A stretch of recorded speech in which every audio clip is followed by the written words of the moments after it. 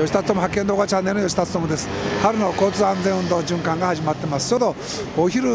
になりました。ちょうど安全協会の皆さん方はお食事をされてるところですが今日も朝からこの夕方まで皆さんが交通安全指導をしていただいているところです。ここは町田からの町田の成瀬地区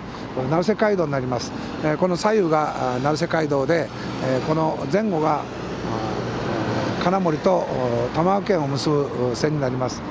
えー、今日もたくさんの車がちょうどこの周辺は桜が綺麗なところがありまして、えー、この桜見物に来てる車もいっぱいになっております。春のちょうどこの交通安全運動の循環は